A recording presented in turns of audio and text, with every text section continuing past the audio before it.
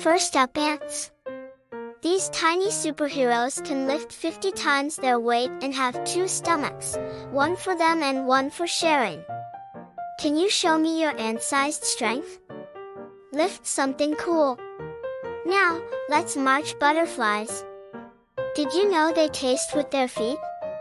Imagine that. Some butterflies travel thousands of miles, and a group of them is called a kaleidoscope.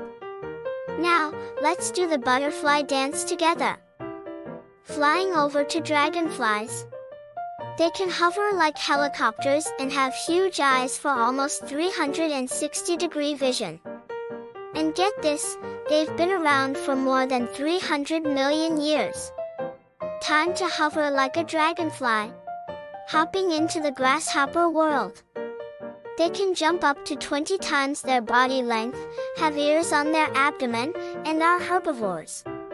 Can you show me your best grasshopper jump? Hop to it.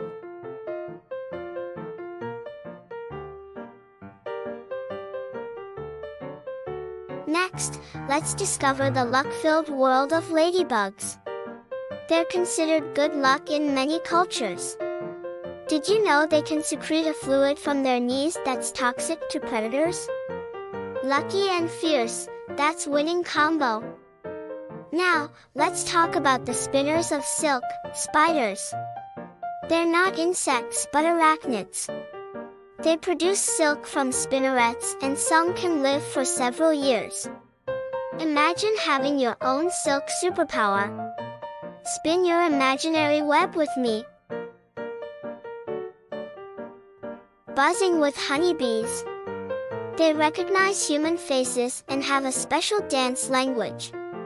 Making honey isn't easy, bees visit 2 million flowers for just one pound. Let's do the bee dance together.